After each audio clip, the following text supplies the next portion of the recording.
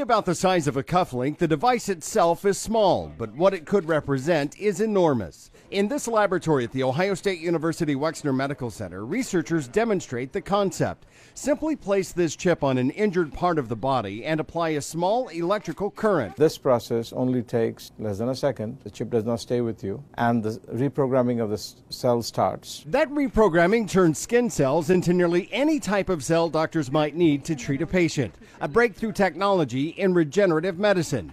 For example, in a leg that is badly injured and lacks blood flow, doctors simply touch the chip to the leg and reprogram the skin cells to become functioning blood vessels. In many cases, in seven days, you start seeing changes, and these changes persists. Within a week, there are active blood vessels, and by the second week, the leg is saved. In fact, in lab tests, it even worked in the brain, helping mice recover from strokes.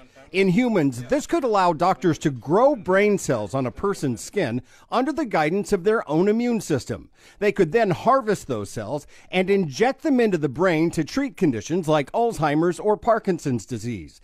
And no immune suppression drugs would be necessary, all by using a patient's own cells in a brand new way.